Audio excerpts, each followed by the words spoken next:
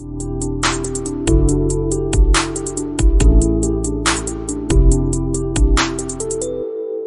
at Geopost, we've set the objective to be net zero by 2040. That's 10 years before Paris Agreement.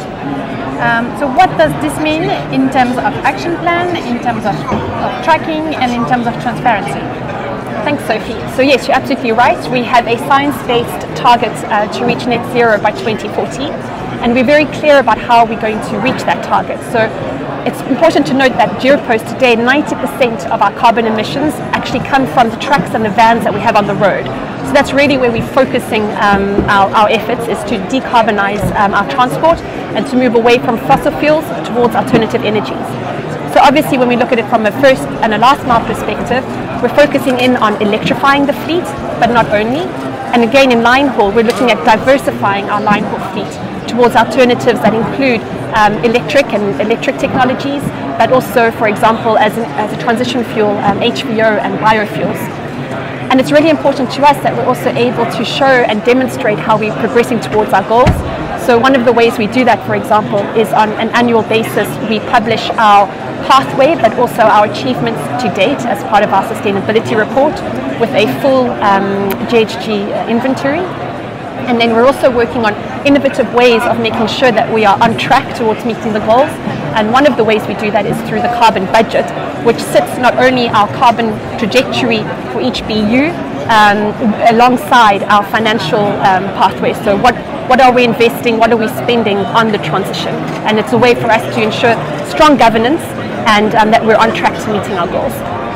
So uh, when it comes to transport decarbonation, uh, you may only think about fleet electrification, but what role do people and technology uh, can play in our objective? Absolutely. So I know that I mentioned earlier that a lot of what we're doing is around electrifying our fleets, and you're absolutely right. It's not only um, about what we can do from an operational perspective.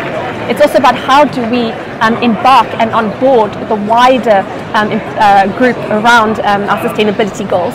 Um, I strongly believe that sustainability isn't only um, the responsibility of a sustainability team, it's a group-wide responsibility.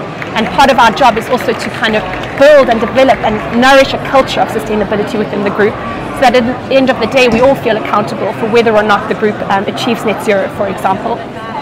And again, around technology and new, uh, new ways of thinking, I think that also brings an immense amount of value um, to what we're doing.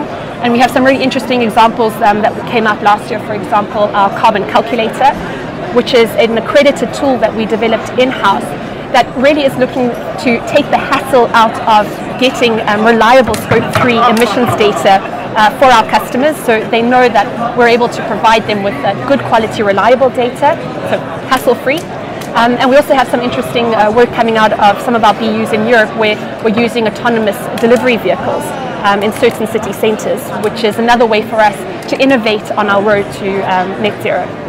So, um, on our way to net zero, what uh, are the largest hurdles you see on the way, and how are you already dealing with them? Yes, so um, it's not always easy, and I think we've made really good progress um, towards our goals. However, now I think we're getting to a point where some of the other challenges are starting to come to the fore. Um, so on the first and last mile fleet, I think today we're operating around 9,000 um, low emission vehicles. And what we're seeing now is that charging is becoming an issue. So we lack space um, on some of our sites to ensure that we have the right number of chargers um, to, to support that transition but also we um, in coming up against problems related to power on the grid, for example. So not necessarily having enough power to be able to charge the vehicles when and, uh, and where we need them. So we're working on finding solutions to some of those challenges.